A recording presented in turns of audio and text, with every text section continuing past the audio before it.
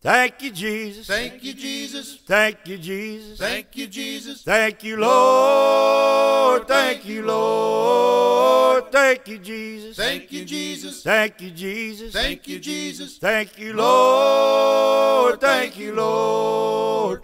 Lord, you brought me a mighty long. We have, after we're good.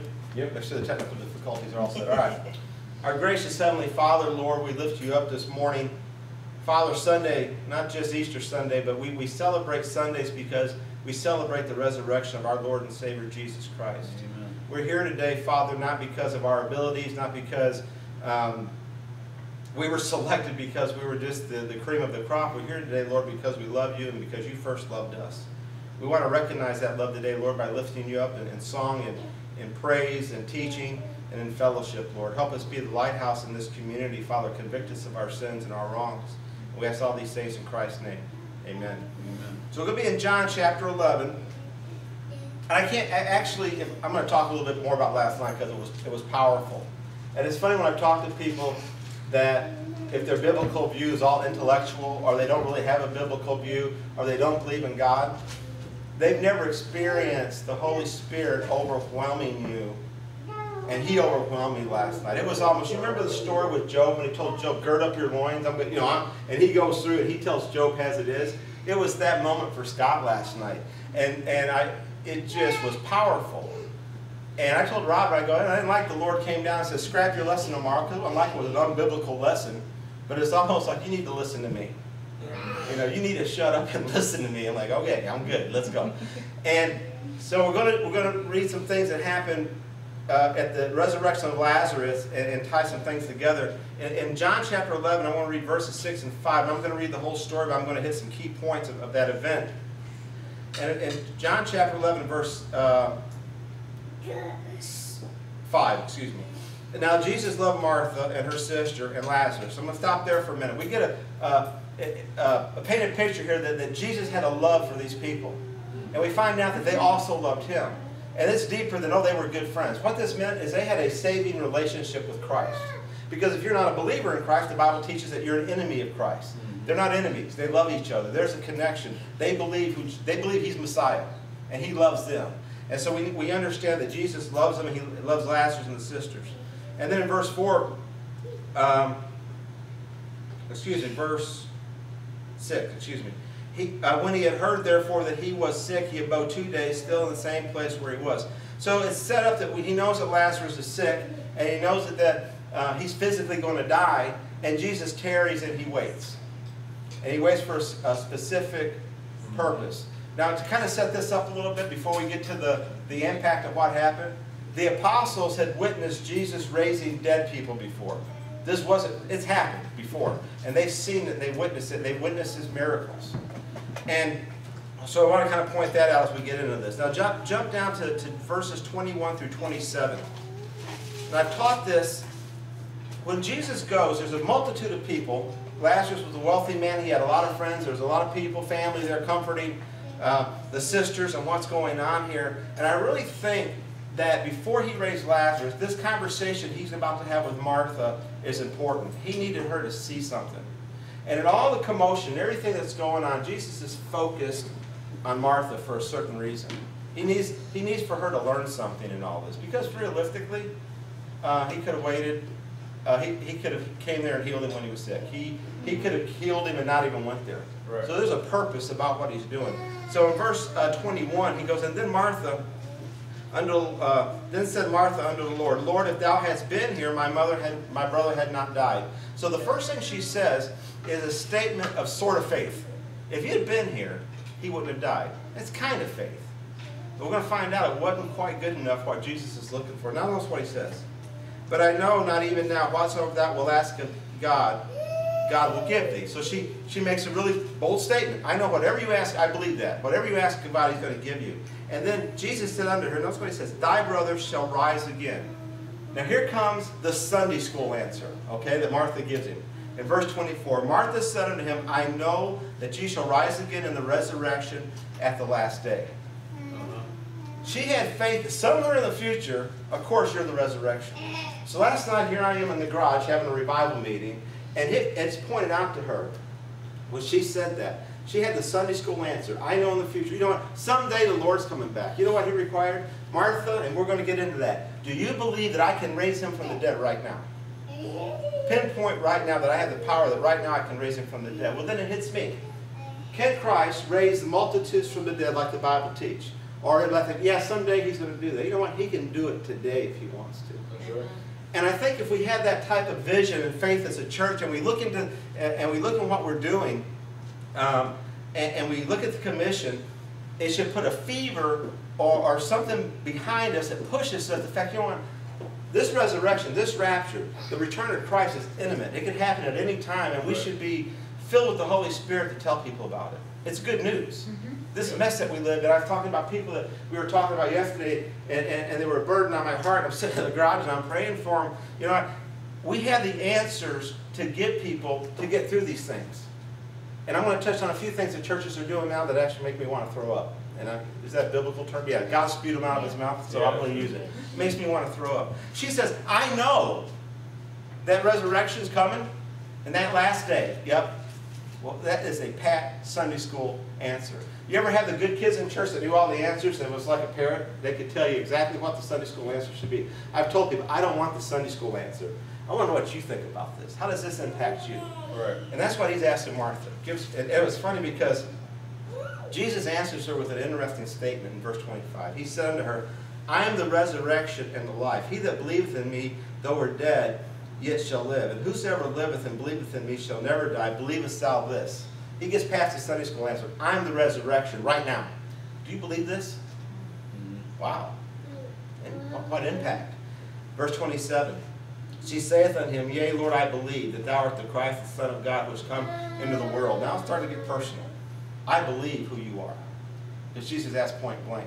You know, and I think last night, uh, once again, I call it the, the revival in the garage. It was just me and the Lord in Avalon, you know, and casting crowns. Yeah, the casting crowns song.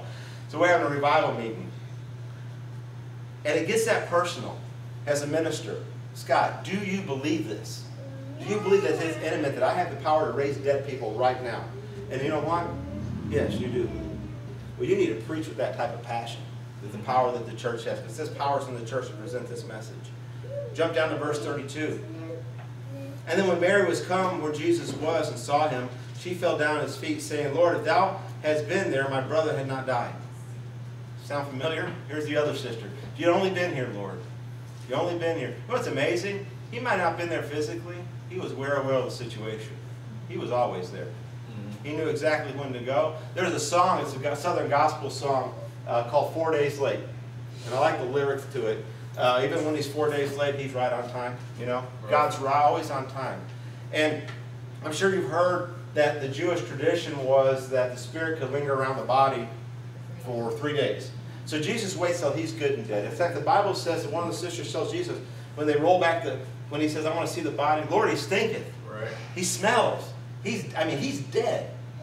And it's funny because we have people that have been in the graves for hundreds of years, thousands of years. They, they're past stinking. I mean, that part's gone. And God's going to raise them from the dead. People that have been buried at sea, people that have been cremated, mm-hmm. God's going to raise them from the dead into a new body. You know, believest thou this? Do you believe I can do this? And the answer is yes. Um, so he says, she says, if you've just been here, verse 33, when Jesus therefore saw her weeping, and the Jews also weeping, which came with her, he groaned in the spirit and was troubled. Okay? And he said, Where have you laid him? And they said unto him, Lord, come and see. And the Bible says Jesus wept. Now, I've heard preachers comment on this. And I always thought the comment where they take this is just a little bit short of the mark. And they'll say, you know, it showed his humanity because Lazarus had died and he felt sorrow for that.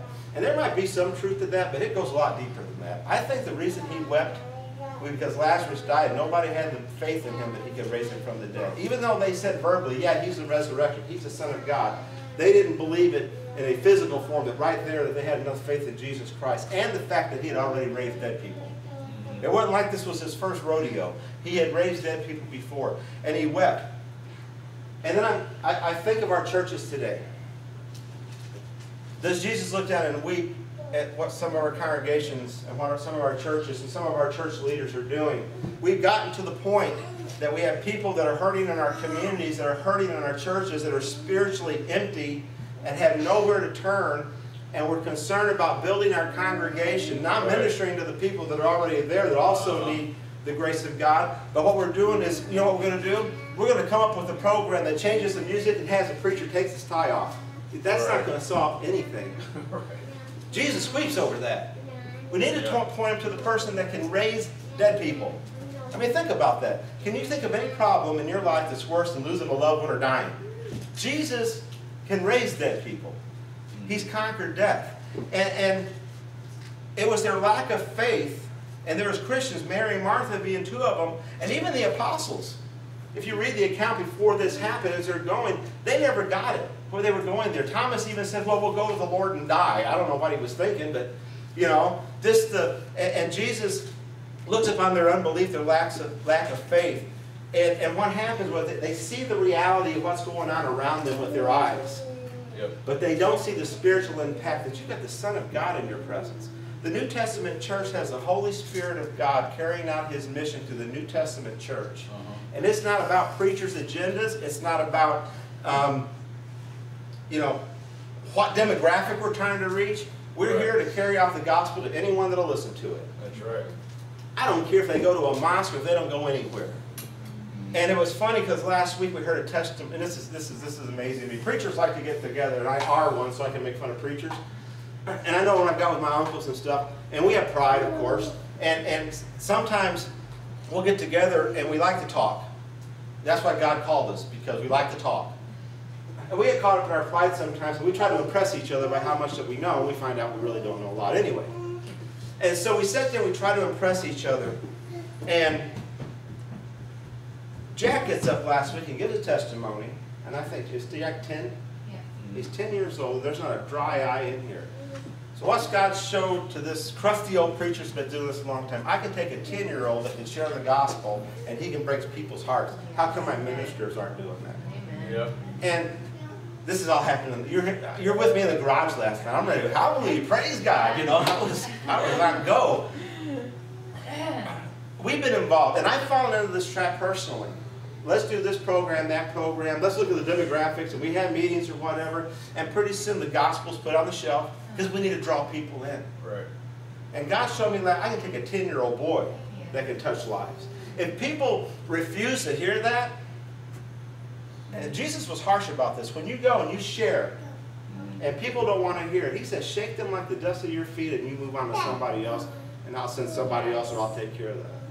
That's what the Lord said. Not change your, not change Yeah. your program so you can get them. Right. Yeah. And we're sitting there trying to minister to people that we're not going to get anyway. And we're ignoring the people that we can get because, you know, and, and, and I'm talking about us as being the New Testament church and all the local New Testament churches. And they're, you know, there are ministers out there, well, we, you know, we need a relaxed dress code.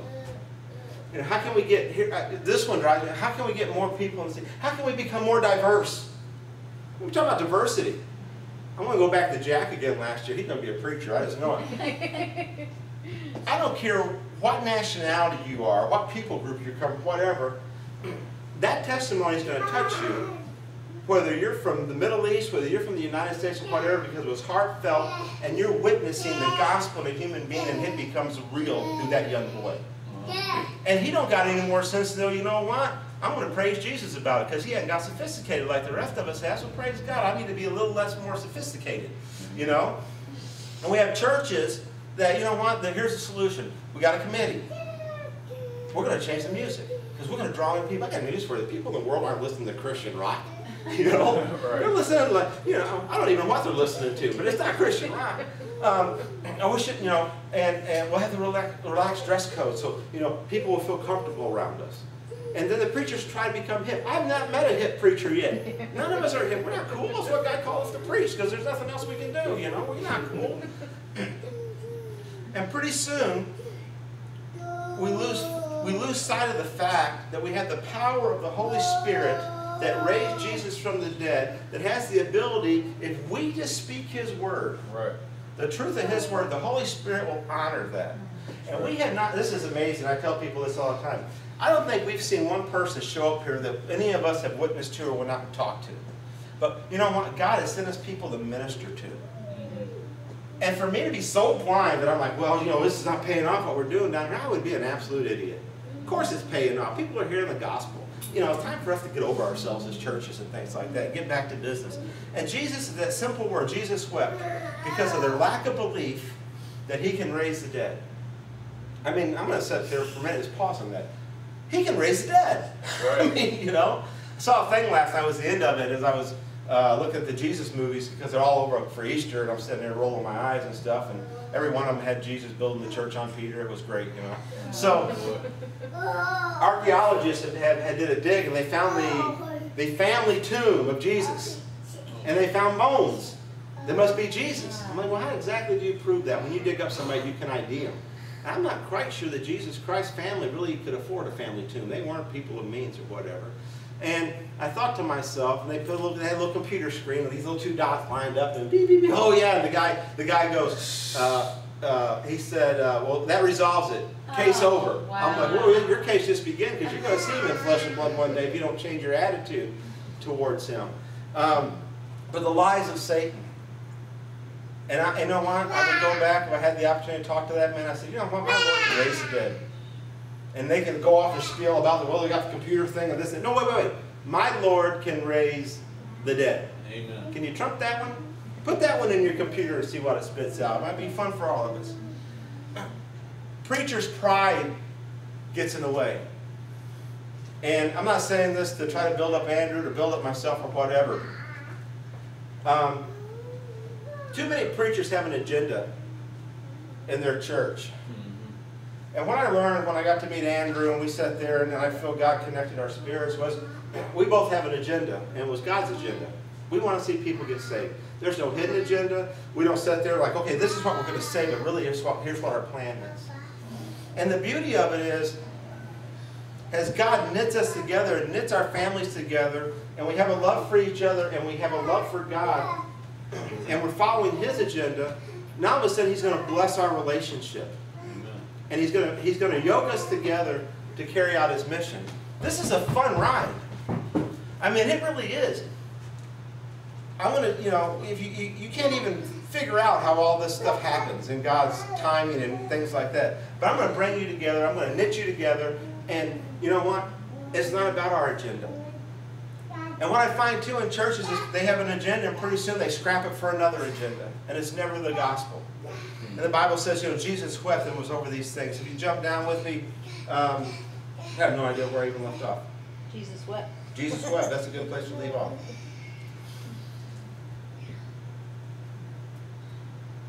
And he asked where he laid him, Jesus wept. Okay, thank you. Now I'm going to jump down to verse 39.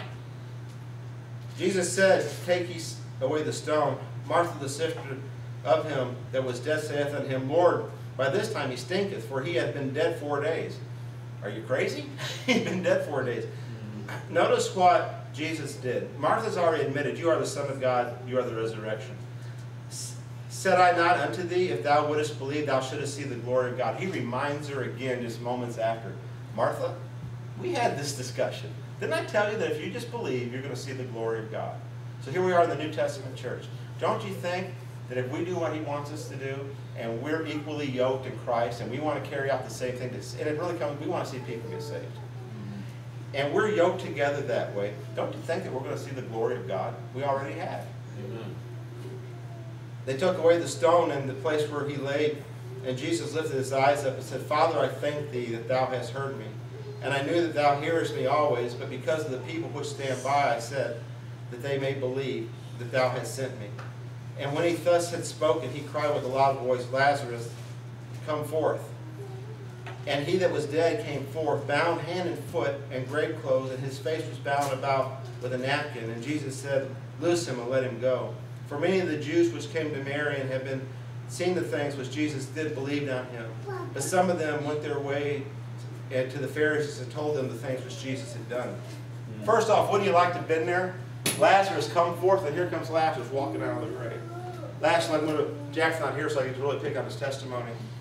He tells a story of a soul, a spirit that was lost and bound for hell, that Christ said, Jack, come forth. and he resurrected that spirit, and we were witnesses of that. We went across the street, we baptized him as a testament to what the Lord had done. Amen. That's seeing the glory of God through efforts of this mission and staying faithful uh, to that. You know, and I, I'm going to say something too that probably isn't popular with a lot of the, you know, because we got to have big numbers and we got to do this and we got to do that. If coming down here means that someone like Jack gets saved, Amen. it's well worth it. I don't care how many people come and sit in the pews and whatever. I want people to come to Christ because it's their only hope. Um, I thought it was always interesting. Jesus raised Lazarus from the dead, and a lot of people believed. But a lot of people go back to the Pharisees, Uh-huh. and the Pharisees start to plot to kill him. They even they even thought about trying to kill Lazarus again. You know, which is kind of funny. Yep. Yeah. Can you imagine going to the Pharisees and they're saying, this guy's raising the dead. We got to do something about him. He's going to mess up our religious world. Oh, yeah. Isn't some of our churches doing that? This gospel thing, that's going to be too offensive to men. You know what? It's not going to sink in. We need to be able, we, we need to compromise because we want to make them feel good. We got to have a program for the kids. How about a program to make the kids behave in church? That'd probably be the first one we need to do. You know, my mom, I always tell about she had these rings that she wore, and she said, almost fell off the. She, she would sit behind me when I got enough to sit by myself, and if my head turned, I got whacked on the head. And I'm 53, soon to be 54 years old, and, and I still look behind me to make sure I'm not going to get whacked on the head. And we do all this stuff, and it's almost the same thing the Pharisees. Says, we got to do something about this. That gospel that, that, that, brought me to the Lord when I was eight, that brought Jack to the Lord when he was 10 years old, that's the only thing that's important. That's right. Not the tie, whatever. And whether I got this on or a polo shirt on or whatever, um, I don't know, look any different either way. And you know what? If I want to make a fashion statement and I get up before people and I wear something, if I wear shorts and a, and a t-shirt, and they're caught up on that and they don't hear a word about what I've just preached, I failed them. Right. I've told young preachers, you know what? They expect you to have a tie on, put a stinking tie on and get over it. And get up and preach the Word of God. Amen. If people in the church like to sing hymns and they glorify God singing hymns, get over yourself and sing hymns. Because it's about glorifying God. And you should read the words of the songs you're singing anyway. Right. Oh, this so-and-so artist wrote this and it's so enlightening. Yeah, right. It's a rock and roll song they're making money off of through the gospel trade because uh, gospel music is a big industry and they get record contracts. They're trying to make a buck. Yep. We have religious stores all over the place that make money off the, uh, off the Lord's name. Yep. And you know, he went to a temple and started turning tables over because of that nonsense. Because it wasn't about his name being destroyed like that. So, I actually did this the way I planned. I guess what I want to do, I guess it's a little different. This was not even a lesson. This was just Scott's garage moment last night, and um, Robin thought the rapture was going to happen. I come in glowing. I mean, I think I was I was all excited. I got to tell you what just happened in the garage. this was awesome. Um, there was no neighbors out walking around. They about got preached to last night because I couldn't contain myself. I was looking for some, but they weren't there. Um, knowing that, knowing what God's done, and, I had mentioned that, that Christians suffer and they hurt. I like to open it up just if there's a testimony or something about where God's really touched your life, where you were at a point, whether it's spiritually, physically, or whatever, and just to share that today, to celebrate His resurrection and what He did. Because if not, I'll call on names. So you got to come up with something. I'll pick on Andrew first. He's a preacher. He's always got a story. But anyway, if there's anything you want to share that God's doing in your life, He's done, what's a personal level, just, you know, doesn't have to be earth shattering, just something simple that God's done in your life. I remember. Um, we went on a vacation, Scott and I and my mom and dad, and we went to West Virginia. We'd never been there before. Um, I'd like to never come back. Anyway. The middle of the night, I don't know, probably midnight, Scott wakes me up and he goes, Robin, I need to go to the hospital because I think I'm having a heart attack. And I was like, o- okay, which you get woke out of a sleep and you, you don't really, you know, well, first, I, we sat there for a second and he goes, I don't know. He goes, it might not be. He goes, but we need to go to the hospital. I said, all right. So we, uh, left the, the hotel, went downstairs. There was a lady down there. I we asked, where's the closest hospital? Got in the car, drove there, got turned around, stopped at a 7-Eleven, Went in, they showed us where it was, or told us where it was, went to the hospital, got him to the ER.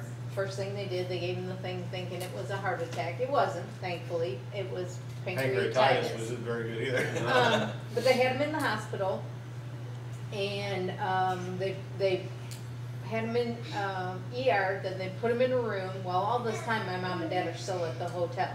So I have to drive back to the hotel, get my mom and dad, tell them, and then come back to the hospital. And I could not tell you. It was middle of the night. I have no idea. This was before cell phones, anything. I had no idea where the hotel is. And I just prayed to God. I was like, please, just let me get there safely. Let me get mom and dad, get back here. And and and he did. I mean, he got me back to the hotel. I got my mom and dad. We all went back to the the hospital. It worked out where we were able to get a hold of Scott's doctor here.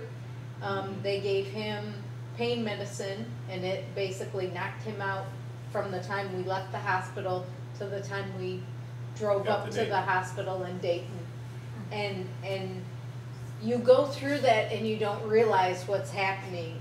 Right. But I got home that night and I just bawled because I was like, God just had his hand on. One thing that happened in that, that was, what I'm diabetic and I had a gallbladder attack that gallstone damaged the pancreas and, which could be fatal for a diabetic. And, um, I never felt that type of pain before. It was so intense. And there, and I always tell people story, I go, I knew the Holy Spirit and the grace of God because it was before they gave me the morphine. So I knew it was, you know, and I remember praying, just take this pain away from me, sitting in the hospital. And it got worse and worse and worse. I remember looking over, she'd never seen me laying on my back helpless before. You know, I was always been, you know, lean on Scott type thing. And I, she had this look of panic on her face. And my, I, and it was just, it was weird how God does this. It was distinct. I mean, it was so distinct. I remember my prayer changed. You know what? I know I'm okay. Whatever happens to me, take care of her. Soon as that prayer became sacrificial, I'm not saying I had an out-of-body experience, but that pain subsided. It became tolerable. The spiritual part of me almost overtook me, mm-hmm. and I was comfortable then. And it was like, wow, I got to make more sacrificial prayers, you know. and I think one of the things that hit me about that, it happened last night. I told Robin what just happened to me in the garage about God's overwhelming spirit. I don't even understand. It was a peace that just came. I don't even understand it. It was mm-hmm. past my understanding, and it was like, I, I want some more of that, you know. Turn on some anything, any, anybody else want to share? Well, just my testimony of my life, just, uh, Jesus Christ, He's the same yesterday and today and forever. And one thing God has, uh, allowed me to do is, uh, is to serve Him without thinking, not looking to the negative things and the bad things or the impossibilities, but once God just puts on my heart to do something, I just trust Him. Yeah. And uh, the trust level with God, with me, is increasing. Yeah. Because I look at my life and what I do, and I don't really do anything. And what He does is everything. Yeah. And he, and he says in the scriptures, it says, uh, through tribulation, you, uh, it worketh patience. And patience experience, and experience hope. And you learn from your experience that you have hope because through your life, God's been faithful. Yeah.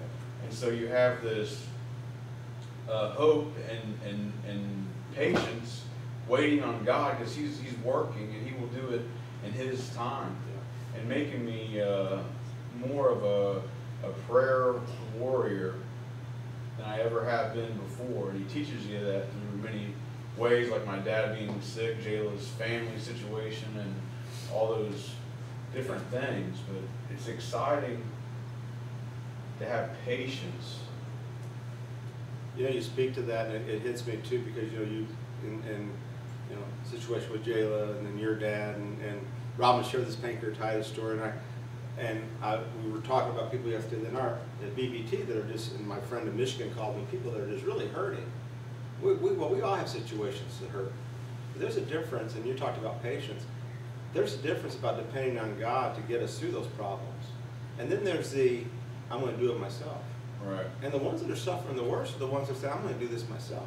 And it gets worse mm-hmm. and worse. And, and I, when I was reading that and I, and I, I was getting fired up last night and I was thinking about our, you know, some of our New Testament churches and I said, I've even bought into that over the years. And then it's like, God had to smack me around and wake me up to it, is um, either preachers, and- and I ain't gonna, I'm not even gonna put it on the membership of the church. The leadership of the church that are leading those flocks either don't care about what the Bible says or they have no faith.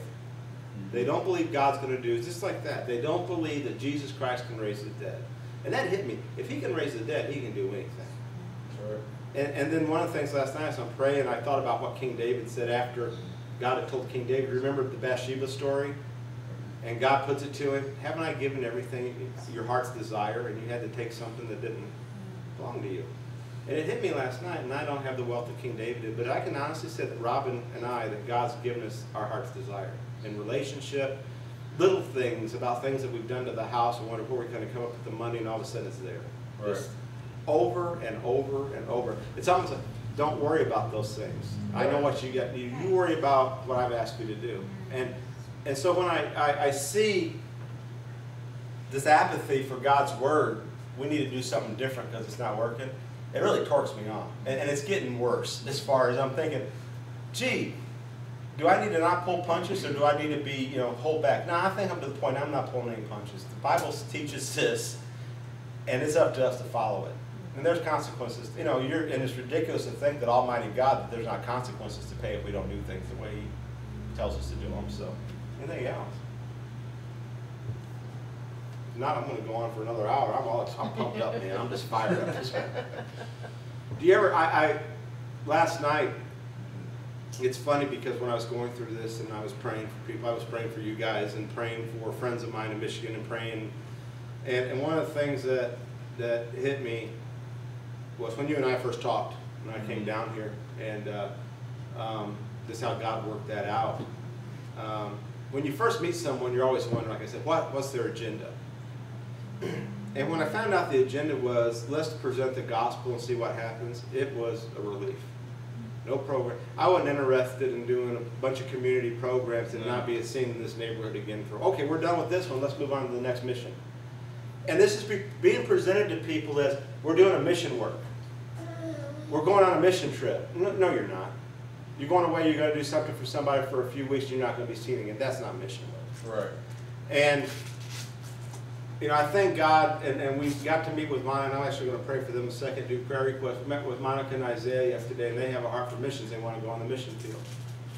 And I'm proud of where their heart is, because they really, they are seeking God, and they're talking, they're going to go to, uh, Thai, Thailand, right? Thailand, for ten days, work with a missionary, and their idea is to be full-time missionaries and Isaiah wants to be a missionary, Monica wants to work with kids, and they're gifted to do that. They're 19 years old.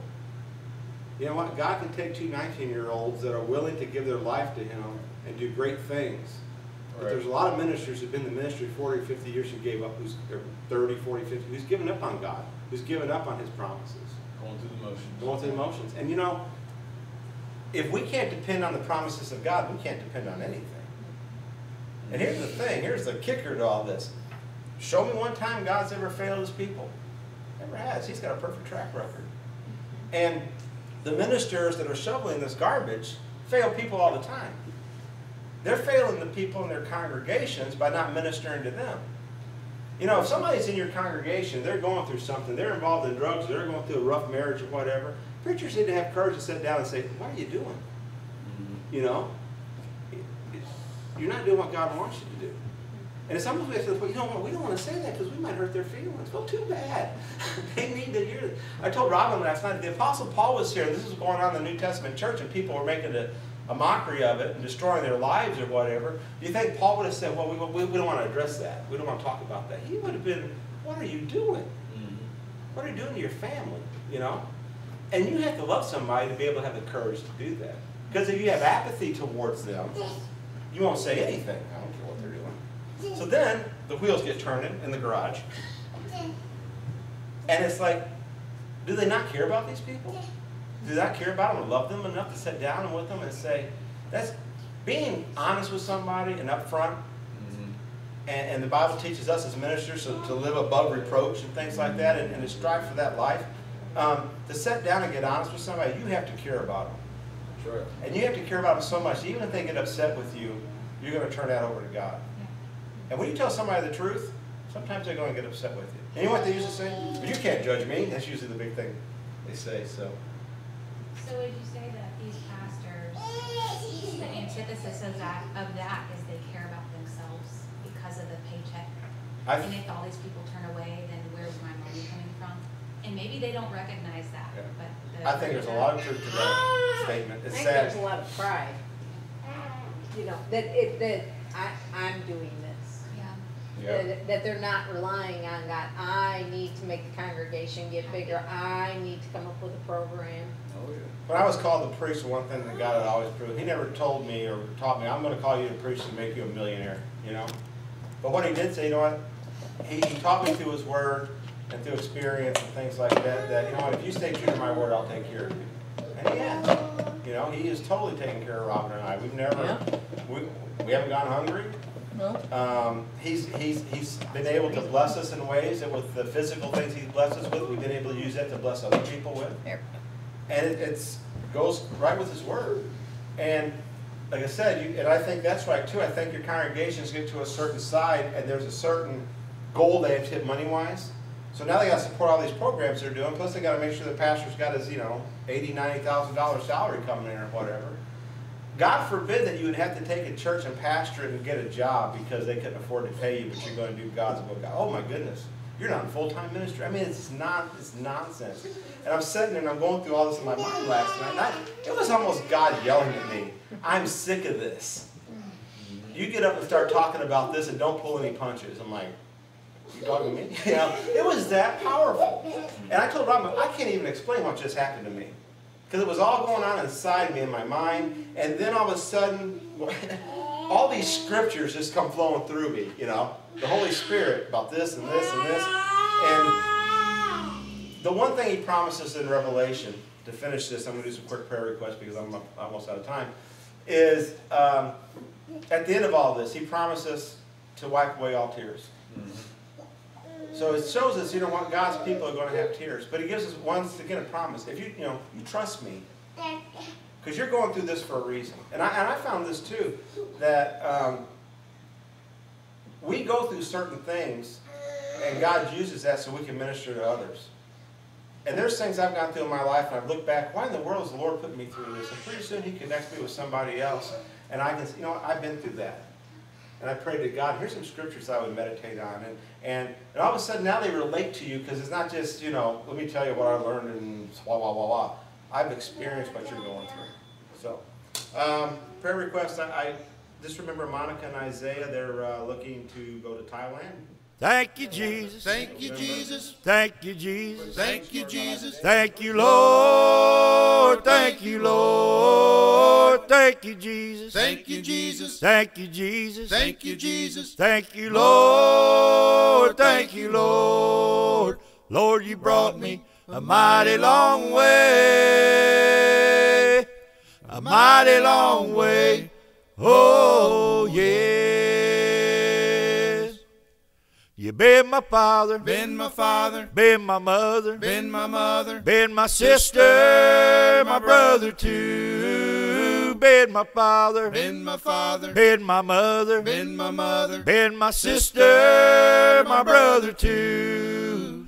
Thank you, Jesus. Thank you, Jesus. Thank you, Jesus. Thank you, Jesus. Thank you, Lord. Thank you, Lord. Thank you, Jesus. Thank you, Jesus. Thank you, Jesus. Thank you, Jesus. Thank you, Lord. Thank you, Lord. Lord, you brought me a mighty long way.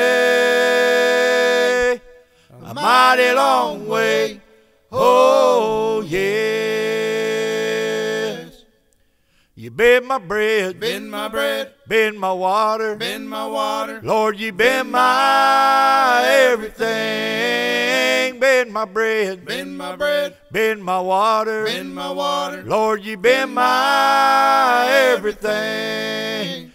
Thank you, Jesus. Thank you, Jesus. Thank you, Jesus. Thank you, Jesus. Thank you, Lord. Thank you, Lord. Thank you, Jesus. Thank you, Jesus. Thank you, Jesus. Thank you, Jesus. Thank you, Lord. Thank you, Lord.